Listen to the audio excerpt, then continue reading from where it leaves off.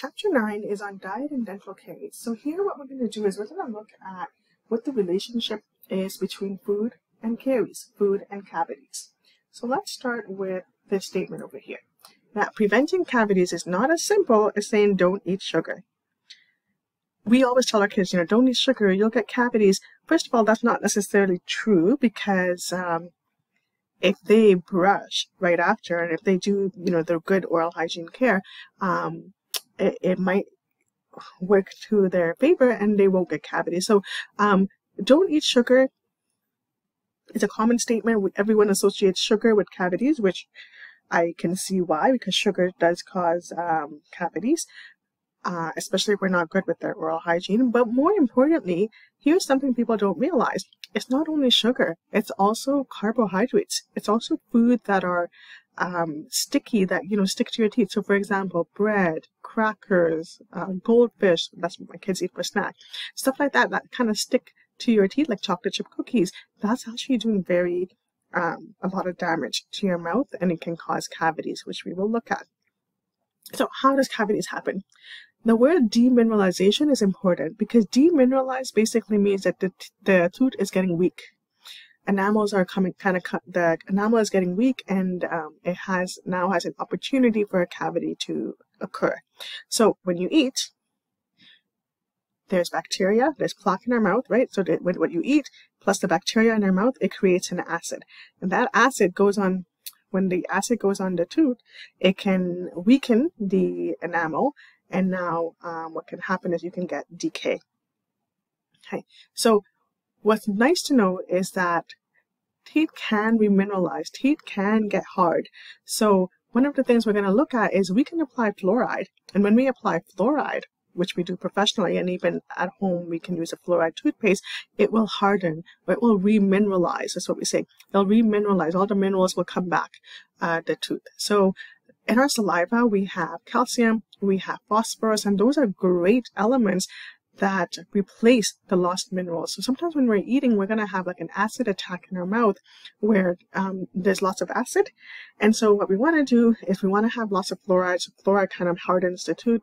We also want the saliva that um, to kind of wash over this area because saliva has calcium and phosphorus and that also makes the teeth hard and less resistant to cavity. So let's talk about demineralization. So we have, this is a pH scale, and in the pH scale, normally our mouth is around like 7, 6.8 to 7.0. Okay, that's like the, the, the normal or, oral pH, or the normal pH in our mouth. What happens is when it drops to 5.5, okay, so when it drops over here, 5.5, this is when we're worried because now demineralization can happen. Now um, the teeth or enamel can get weak and um, it, it is kind of getting acidic. Because this is if you go this way it gets acidic. If you go this way it gets basic. So there are some food that you can see here that becomes uh, if you eat the pH in the mouth goes more acidic. The pH goes lower which means it becomes more acidic. So we don't like it. When the pH goes to 5.5 that's our critical pH because when it does go to 5.5 the teeth can demineralize or get weak. The minerals kind of come out from the enamel. Okay, so again, 5.5, that is our critical pH level. We get worried when it, it's 5.5 and lower because now the enamel gets weak, as you see here. This just shows you what happens first, second, third, all the way to six. So here we have a perfectly healthy tooth, no cavities. Here we get demineralization. So the white spots are demineralization, and actually I should show you that here. When you see white spots on the teeth, it, there could be lots of reasons like fluorosis and whatnot, um, like hypocalcification, but demineralization kind of looks like white spots like that. That's what it looks like. Um, I've seen people who have braces and they don't do a good job with their oral hygiene. And once the braces come off, you see a lot of white spots, and that's demineralization happening where the enamel got weak and lost its minerals. So you get a white spot here. So this person is at risk for cavities because now we see that demineralization, we see that white spot, and it's starting to break down. The enamel is going coming out from it. And now we get um, like this is a lesion, and then what happens is it becomes um, deeper and deeper, and soon if we don't get it fixed, it can become fractured like this, right? So we never we want to address it right away. If we can just apply fluoride and do diligent with our oral hygiene, be diligent with our oral hygiene, it'll stay like this. Once we see demineralization, once we see white spots, we're going to get worried. So I'm going to apply a lot of fluoride for this client. I'm going to educate the client on good oral hygiene. If it gets to this this stage over here, I'm going to tell the client, okay, we need to get this fixed. We need to get this restored. You know, and here and here, like you can see, it's very severe and they now need more expensive dental work. So it's better just kind of nip it in the bud earlier so that it doesn't cost them more uh, to replace it or to fill it, rather to restore it at a later date. So always catch it early, always give them intervention, prevention strategies earlier so that it doesn't proceed to that state. And that's what we're going to look at today. We're going to look at what we can do with clients that are at risk for cavities. Okay, so demineralization has a white spot. It's basically what happens is the um, the tooth structure kind of gets weak and then the calcium, so we have calcium inside our enamel, inside our tooth, and that kind of leaks out and it leaches out from the tooth structure, which means it then demineralizes it, makes it weak, and you can get a white spot. So you may this from semester one when you were taking, um, when you were learning about the tooth and you learned about the elements within the tooth. So there's hydroxyapatite that is that can uh, come out when it gets demineralized. And then what's nice is saliva actually has fluoride in it. And so we're hoping that the saliva, there's enough saliva in the in this client's mouth so that when the fluoride goes back in, um, it strengthens the tooth. So demineralization is when it's 5.5 or lower, and hydroxyapatite comes out of the of the tooth or of the enamel once it reaches that 5.5 critical pH. What we want is we want remineralization. We want the pH to get higher. We want the, the enamel to get hardened. We want the minerals to come back.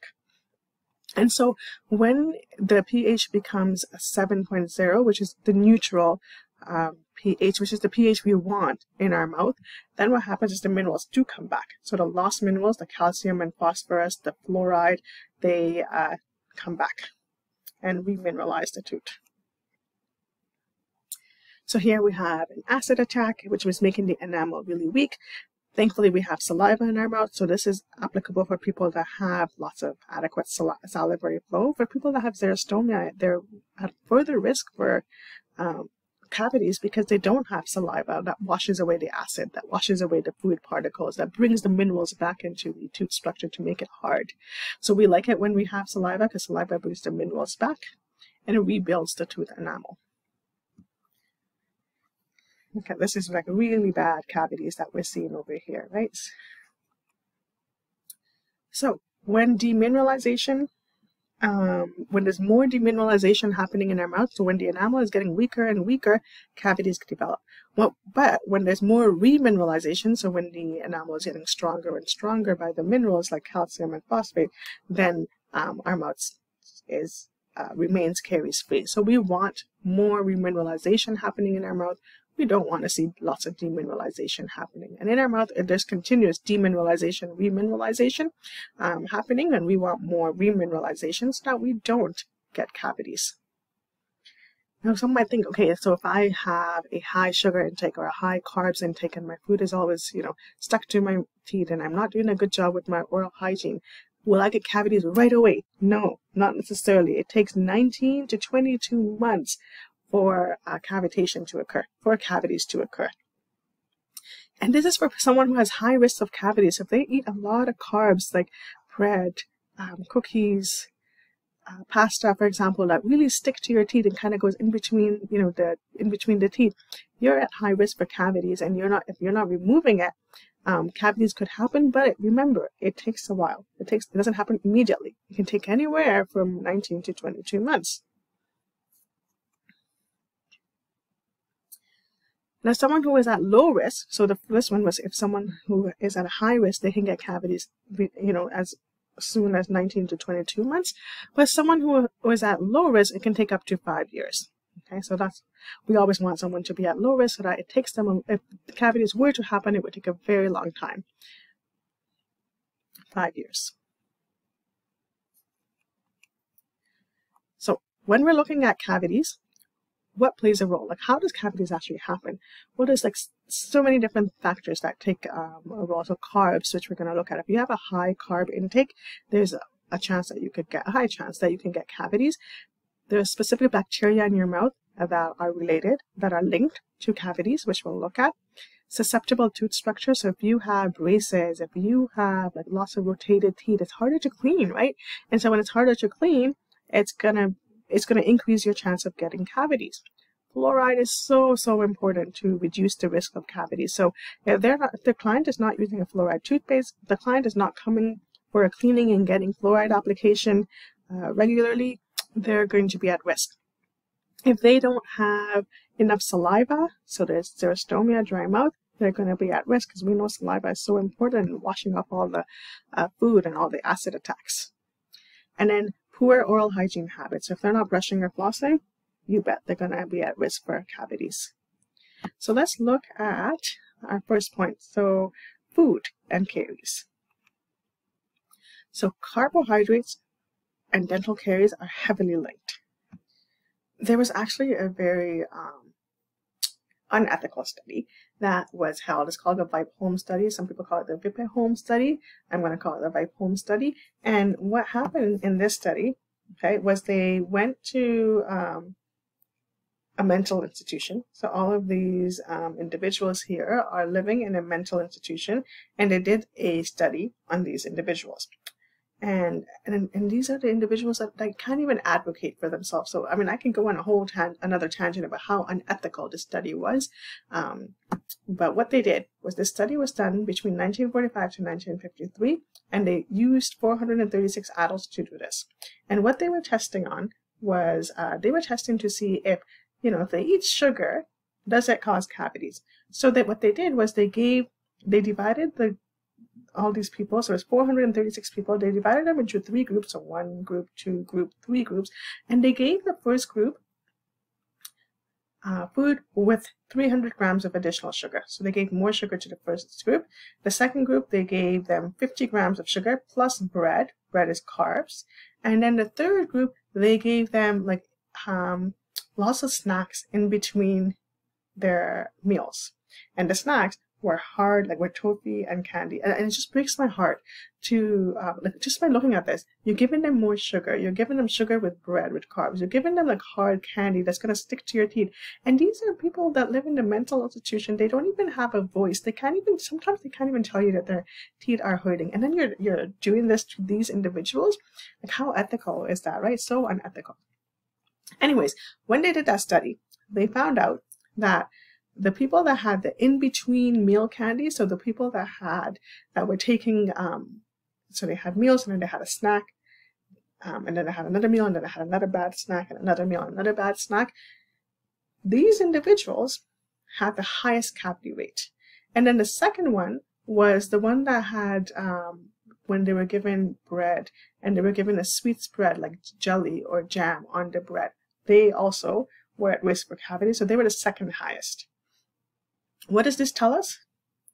This tells us that the frequency matters. So if you, you know, eat continuously throughout the day, with you, know, you snack a lot throughout the days with sugar or with um, even like, you know, on a bread and you put like jam in it, which is full of sugar, that's gonna definitely increase the chance of you getting cavities. So the more you eat unhealthy, the more, uh, well, I should say, the more carbs or sugar you eat, the more likely you're gonna get cavities. And the form of the food also matters. So retentive foods like carbs, like bread, pasta, cookies, uh, cake, the ones that really stick to your teeth, they are going to stay in the mouth longer compared to liquids. So they're going to increase the chance of you getting cavities. And then, of course, sugar, right? Sugar can also definitely cause cavities. so let's talk about carbohydrates. So when we're looking at carbohydrates, um, carbohydrates have sugars in them. When they break down, they kind of have sugar. And these ultra uh, processed foods, so these foods that kind of go through a factory and, and get made, like um, cereal, crackers, um, goldfish, and others, and chips and stuff like that, they um, are more likely, if you eat these, this is more likely to get cavities compared to unprocessed foods. Not to say unprocessed food doesn't cause cavity, but um, these processed foods do cause cavity because these, uh, when we have bacteria in your mouth, the bacteria loves these carbs and they'll like mush together and they'll make acid and this acid demineralizes or this acid weakens the enamel. So bacteria plus this food, sugar, because carbs make sugar. So bacteria plus sugar cause an acid attack and that acid attack will weaken the enamel. So let's talk about frequency again. Every time you sip and graze, so let's say let's say like pop for example um, i have a bottle of pop and every 30 seconds i'm taking a sip that is so detrimental to my teeth um, and to my health because every time i'm sipping what's happening is pop is very acidic okay so every time i'm sipping my mouth starts neutral right because everyone's mouth is like between a 6.8 to 7 when i drink pop it goes all the way down to 4 So now my teeth aren't happy. My teeth are getting demineralized. And then after 30 seconds, I, I take another sip. It keeps like going, staying in this acidic environment. And so that's not good because when it keeps staying in this acidic um, environment, the enamel is getting weak and weak. And we want the enamel to kind of go here. So frequency, if we're sipping continuously throughout the day, it's not good. If we're snacking like really bad food continuously throughout the day, like chocolate chip cookies every day, you know, every, I don't know, two, three hours, we're keep we're just making this uh, pH in our mouth acidic, which is never a good thing because it weakens enamel. So let's look at an example of someone's uh, diet diary. And you can see here, this is a 24 hour diet diary. So in one day, this is what they ate. And when what I want you guys to know is that when you look at this, so here, this client had coffee with sugar, okay, with cream and sugar, um, eggs, toast, orange juice. So orange juice has some sugar, coffee has some sugar, but when you take a sugary diet and you pair it with a protein or a fat, so in this case protein is eggs, fat could be cheese, it kind of buffers out the acid. It kind what it does is it cancels out that acid attack. So when you're eating, what we recommend is you pair your food with a protein like eggs or meat, and with or uh, with uh, fat. So cheese is a good example of fat. Because when you do that, you buffer out the attack, the acid, and, and so then you don't have an acid attack happening. Let's look at, so this is good. If you look at this one, snack, this person had a snack, but they did not pair it with um, something. If they had paired it with cheese, if they had paired it with milk, which is um, a dairy, so a dairy product can also cancel out the attack it, it would be good. So when a breakfast bar stays in your mouth, it actually takes up to 60 minutes for it to wash out. So let's look here. Anything solid, like a breakfast bar, it takes up to anywhere from 45 to 60, so 60 minutes for it to clear out from your mouth. If you look at this example, so they had lettuce, they had chicken, which is a protein, that's good. Walnuts, something hard is good because it stimulates salivary flow. Um, cranberries is sticky, right? Dried canned cranberries could be sticky um, soda. Soda is bad because it can be um, acidic. But what you're noticing here is that when you look at this meal, they had some good stuff with it. So even though soda is bad and it's acidic, um, and even though cranberries is bad because it's retentive, it sticks to your teeth, they paired it with a protein, with chicken. Um, and so that chicken and walnuts is something crunchy too. It kind of buffers out or cancels out the acid attack and that's why you don't see a number here so this one is not that concerning if you look at this one apple is good because um, it uh, is something hard something hard is good as long as it's not retentive because something hard and crunchy stimulates saliva flow so saliva can wash it out but look at the soda so this person had soda and soda is an acid um, attack and it takes 20 to 30 minutes. We're just going to be conservative. Actually, we're going to be really going to use the higher number. So 30 minutes is how long it took for this uh, to wash away from this person's mouth. Hey, look at this one, chips.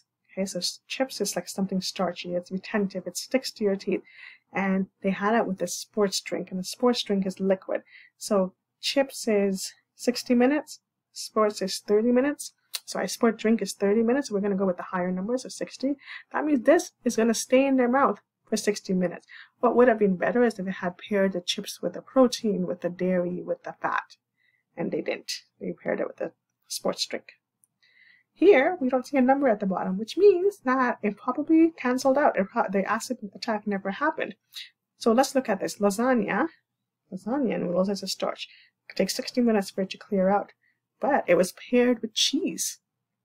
So it cancels out, right? So if you have water, um, that's also good. Eh, so we also recommend like if you have bread and you, you know, have water or milk or cheese or something, it cancels out the attack. So that's why you see no number here chocolate chip cookies. Now this person didn't have it with milk, which would have been ideal because it would kind of cancel out. But this person had it um, alone, so it's a 60 minute attack because chocolate chip cookies stay in your mouth for up to 60 minutes. So you can see just by looking at this, um, I'm trying to show you here, this graph over here, this is a pH scale. So this is 5.5, which is critical pH. There were so many dips right? So many times where the pH level went really down. And so if you look at when they had the chips and sports drink, which was around four, and the chocolate chip cookies, it really dipped down because we were really concerned that when the pH goes down to like three, for example, it's acidic, and um, you know your teeth can start dissolving, your teeth, the minerals can be lost. This what we're looking at is a Stephan curve.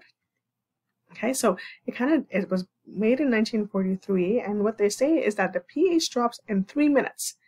Um, so as soon as you eat something sugary, in three minutes the pH will, will drop. And so here's an example. So you normally the mouth is at 6.8 to 7. Now I ate a sugar type of, uh, you know, let's say I had chocolate chip cookies or let's say I had candies. My pH went all the way down to like almost 3. And then it takes a while. It can take up to 30 minutes for it to get back to a 7. Okay, so it, it is something to to watch for. So we should think about what we're eating and is it really dipping down all the time like a lot?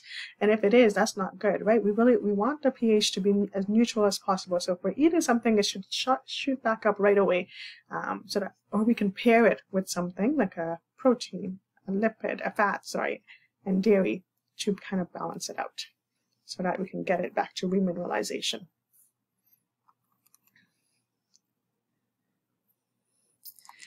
So when we categorize food, we'll say that, oh, this food is cariogenic, or this food is acidic, or this food is cariostatic.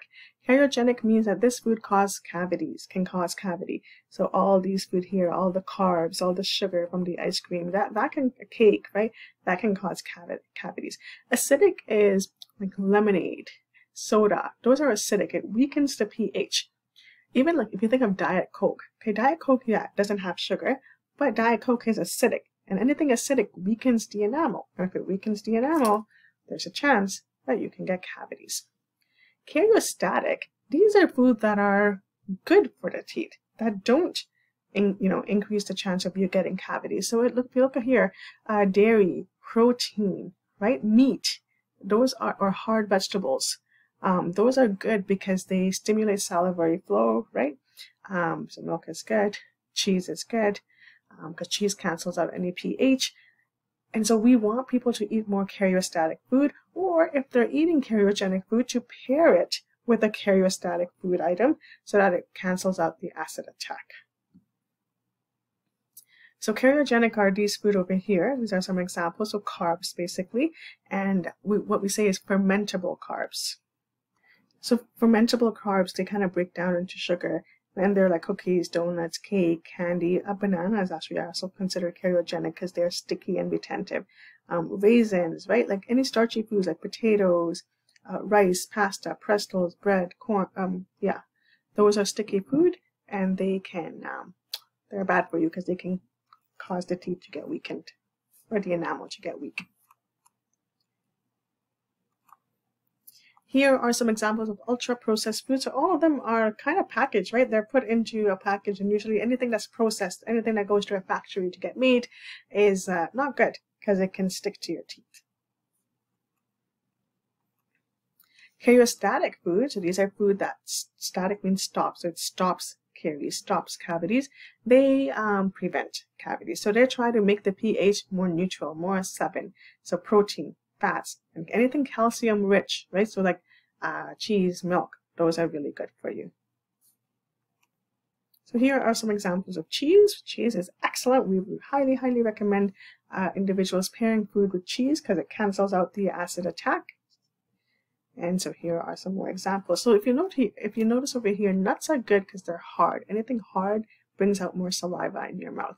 Um, gum that is sugar-free or gum that has xylitol, which is, um, xylitol is really good for you. We'll talk about that. It's good for the teeth.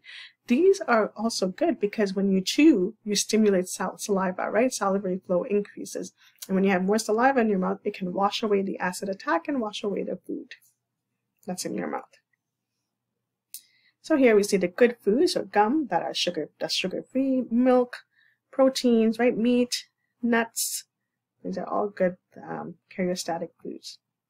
And we talked about acid foods where if you have soda, if you have citrus fruits like lemon, if you have yogurt or orange, um, if you have yogurt and grapes, they are acidic, so they do lower the pH. So uh, we need to be careful, like when we eat this, make sure we drink water right away. Make sure we pair it with the with a protein or a calcium-rich um, type of food like cheese and milk.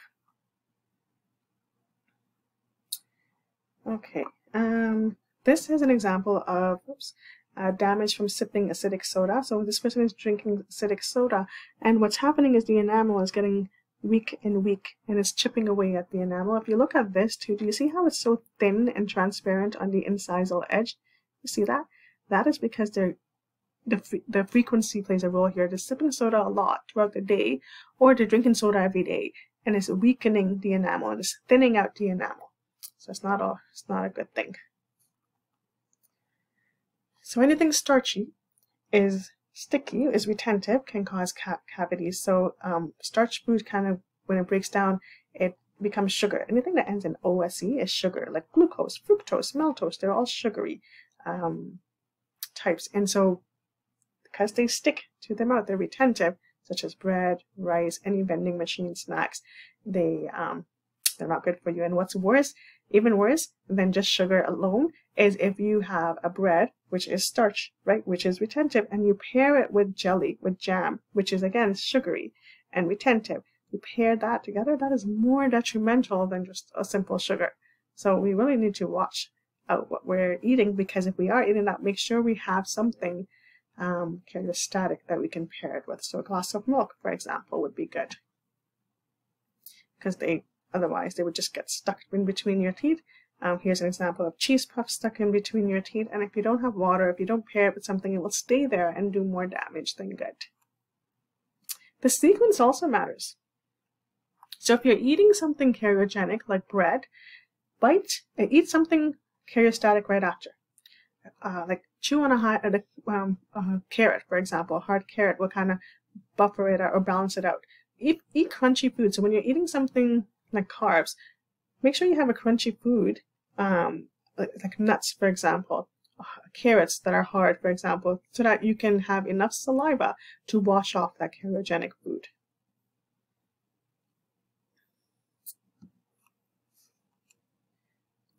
So acidogenic means that um, acid attacks happening. Aciduric is that uh, the the ability to tolerate and thrive in an acidic environment. So if your mouth is aciduric, that means it loves to, you know, be in that acidic environment. The acid that I want you to know is lactic. So lactic acid is found when you have an acid attack, and uh, it is the most common type of acid, the lactic acid. It's the most common type of acid that happens during a cavity attack or during an acid attack. Now there's bacteria in our mouth.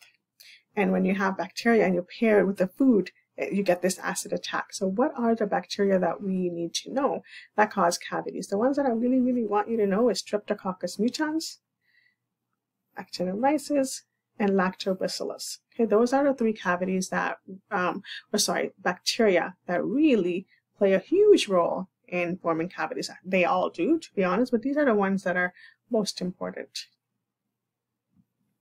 the way your teeth are structured matters.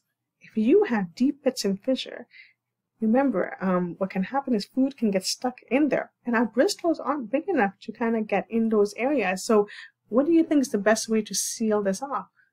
You said sealant should be correct. So anytime you see clients that have deep pits and fissures, we want to seal it off with a sealant so that it, the food doesn't go deep. If you don't have straight teeth, it's very hard to clean in that area. It's very hard to brush. And so we're more susceptible when we have teeth that are malaligned. We know that fluoride is so important. We always tell our clients, please, you know, use fluoride toothpaste every day because it really uh, decreases the chance of you getting cavities. We will also um, recommend or do perform fluoride varnish for those individuals that are at a high risk of cavity. So we would do a caries risk assessment, um, which I'll talk about at the end. And when we do the caries risk assessment, it'll tell us whether they need fluoride or not. And so if they're high risk or even moderate risk, we're going to recommend fluoride. So this is a fluoride varnish application, which is an excellent source of fluoride that we can apply as, as often as needed. So every three months, if they're coming every three months to you, make sure you apply fluoride every three months. Here's what's interesting. When you have fluoride, when you brush with fluoride, what happens is that even though you spit out the toothpaste, the saliva absorbs fluoride.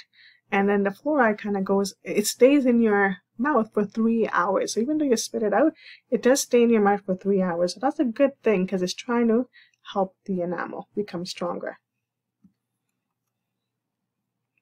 And so we need saliva in our mouth. Saliva, it has, even though it's 99% water, 1% of um, saliva has calcium, has phosphate, has proteins. Uh, they're really good for the teeth. Um, so we really want a lot of saliva. Because fluoride is a number one protective factor, then saliva is number two. So after fluoride, saliva is number one. And saliva clears all the food, and any acid attack, it'll try to kill the, it'll try to dilute the acid attack. And anytime we eat something crunchy, or even if we chew on gum, it increases saliva production. So that's really good. Chewing gum is helpful. But if you don't, if this is a mouth that doesn't have a lot of saliva, you can see that they're getting demineralization. Look at all the white spots. The white spots are demineralization, and so um, this can happen. So we like viscous, um, actually we like fluid saliva, like the saliva that just flows nicely in our mouth. The thick saliva isn't as effective. Viscous means thick. Thick saliva isn't as effective as, as rinsing teeth. The, we like this, the flowy saliva. And so if you have lots of saliva, that's actually a really good thing because the food will clear out faster so pH can return to 6.8 to 7, which is what we want. So as I was saying earlier, saliva has lots of great stuff like phosphates, sodium bicarbonate, protein, and urea. And those are great because any acid that you have, if you have an acid attack, the saliva will try really hard to bring it back, the pH back to neutral.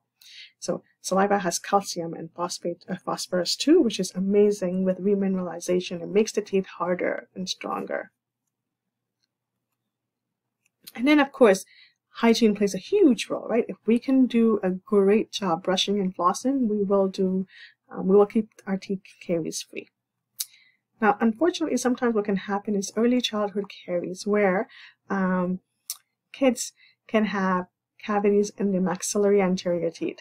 And this is probably because they're drinking water, they're, sorry, not water, they're drinking from a bottle, like milk or juice, for example, and it really causes, and it just sits there because they're drinking from the water, or nursing, for example, um, so breastfeeding and the food, the milk just sits there. What can happen is it can cause cavities, and that cavity is that's like rampant cavity, that really bad cavity called early childhood caries (ECC), and you'll notice it mostly affects the maxillary anterior teeth. So this is before, this is after, and the reason why this happens is because um, it, the the milk or the juice is just pooling there. So how can we prevent it? Well, we wean them, the kids off the bottle. And if you need a bottle, water is the drink of choice, not milk, not juice, nothing else. Here's another example. Look at that. The poor child, all their enamel has gone such, you know, terrible, severe early childhood caries. And so this is why we really need to educate the parents on why bottle feeding isn't good um, and why we shouldn't um, it says here, we should wean them off the bottle at an early age because we do not want this to happen. So many people are being mindful these days of not having sugars, especially those that have diabetes. They know that they can't have sugar, so they'll supplement it. They'll supplement uh, sugar with a sweetener, like a Splenda. So let's look at this. So there are so many different types. Like Splenda, for example, is a um, is a common one and you may have heard of all of these ones so they have like sweeteners and these are the names of the sweeteners that are listed here and so um, those are okay when I say okay, what I mean is they are non-cariogenic. They do not cause cavities. So sugar causes cavity, but using a sweetener that um, is not sugar does not cause cavity. If you look at the um, Splenda, it's made from sucralose, but sucralose is not sucrose. Um, it actually changes the ingredient, the chemical composition changes, and it, um, it, doesn't become sugar, so it doesn't damage the teeth.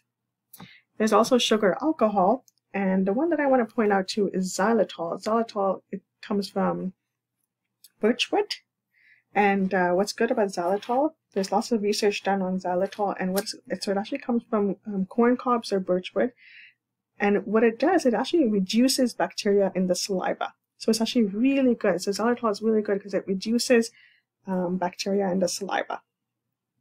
And so there's so many gums and candies that are out there that have xylitol and they control the uh, dental caries. So they actually reduce the chance of you getting cavities. Sorbitol is made from um, corn syrup, but it can also be found naturally in prunes, apples, peaches, and pears. Um, so chewing gum with sorbitol is also good because it has lots of anti-caries properties. It also reduces the chance of you getting cavities. So sugar alcohols are also good, just like sweeteners, because they are non-cariogenic. But xylitol is the one that is really, really good. Um, we highly recommend, dental professionals highly recommend xylitol as an excellent sugar substitute. And there's lots of, we also recommend gums. Like I think the XL gums also have xylitol. So to sum everything up, this is what's really important. Be aware of frequency. We shouldn't be eating all the time. And if we are, um, what's happening is our pH is dipping. our pH just keeps going lower and lower and can't come back up to um, our neutral pH, which is 6.8 to 7. So if we're eating too often, it could be a problem. It could cause more cavities. And carbohydrates, it's retentive, it's fermentable carbohydrates, um, they stick to our teeth and they can really cause cavities. We need to be mindful of that. So if we have lots of saliva, and if we eat a lot of crunchy foods like hard carrots, um, nuts, it really brings out more saliva in our mouth, which is good because it can wash away everything. We need to have toothpaste with fluoride because we know fluoride remineralizes, strengthens the enamel. And make sure we have lots of cariostatic food like meat, milk, cheese, nuts. Those are all good for us in terms of teeth because they um, bring the pH back to neutral, back to 7. And pay attention to sequencing. So pair our food. So if we're eating um, carbs like bread or crackers, for example, pair it with a fat. Pair it with cheese. Pair it with milk. Pair it with meat um, or beans or some a protein, for example, so that it cancels out the attack. So here's a tip. If when you eat a meal, try to include one crunchy food with it because that crunchy food will push out, um, will stimulate saliva, right? And then it'll help clear out or wash out all the food from our, our mouth. And this, I'm going to end up with the CAMBRA, which is a caries management um, by risk assessment. And what this shows is that, this is actually one example, there's so many different examples, but th these are all things that your client could have. And let's say when you ask your client um, if they don't go to a dentist regularly, so you check off this. If they have poor oral hygiene, you check off this. If they have lots of like malaligned teeth or um, deep grooves or crowding, you check off this. So you would check off the boxes of what they have. If they have like a recession and their roots are exposed, you check off this. If they have restorations, then you check this off. If they only have one to two checked boxes, boxes, then they're at low risk. If they have three to six checked boxes, they're moderate. If they have seven to 10, they're high. Um, another way to do this is to assess for caries is is um, what you want to do is you want to see this is like really bad. So if they have any white spots, if they had restoration recently, when I say recently within the past three years, um, you know, if they have any cavities, they're at a high risk for cavities. Okay, so this is important because I'm going to show you one more slide. Anyone that has moderate or high risk, um, what you'll notice is they probably had a cavity within the last three years. So if they had a cavity within the last three years, they are moderate um, sorry, sorry, let me rephrase that. If they had a cavity within the last three years, they are automatically high risk. Okay, so if they had a cavity within the last three years, they are high risk. But if they did not have a cavity within the last three years, and they only had one or two risk factors, when I say risk factors, it was only one or two, so one to two box here, and they didn't have any cavities. Um, and, and again, there's so many different CAMBRAs that are out there, then they're at moderate risk. And then if they have um, no cavities when, the, within the last three years, and they don't really have that many risk factors, maybe just one to two risk factors, then they would be low risk. So I think what I would do for moderate is if they have anywhere from three to six check boxes, so if they have three to six check boxes here, and they had no cavity within the last three years, they're considered moderate. If they have no cavity at all within the last three years, and they only had one to two boxes you checked off here, they are low risk. And high risk is they had seven to 10 boxes checked off, or they had cavities within the last three years. Anyone that has cavities within the last three years is automatically placed at a high risk. And then what you do, the treatment that you offer, it varies. So low risk, just tell them to use a fluoride, continue to use a fluoride toothpaste. If they need sealants, give them sealants. And then just do um, in-office fluoride if indicated. So let's say you did a polish. Polish means that you, what you did when you polish is you remove a very, very tiny amount, very tiny micromillimeter of enamel. So you got to re-supplement, bring that enamel back by applying fluoride. But if they are low risk, I wouldn't apply fluoride. Unless you do polish, then you can then you have to apply fluoride. But if they're moderate or high, you would do fluoride application. You would also do, if they're moderate, you would also do get them to do a 24 hour diary so you can assess how often they're eating, if they're eating carbs, if they're pairing it with anything. Um, that would be a good educational component that you can offer to those individuals that have moderate risk, and you would give them um, fluoride uh, mouthwash over the counter or fluoride supplements, especially if they live in an unfluoridated area. If they are at high risk, you would probably do a three day diet diary um, you would probably apply fluoride varnish. And you would definitely, with all of them, you would always educate them on proper oral hygiene techniques. Okay, that wraps up our um, chapter on diet and dental caries. Thanks, everyone.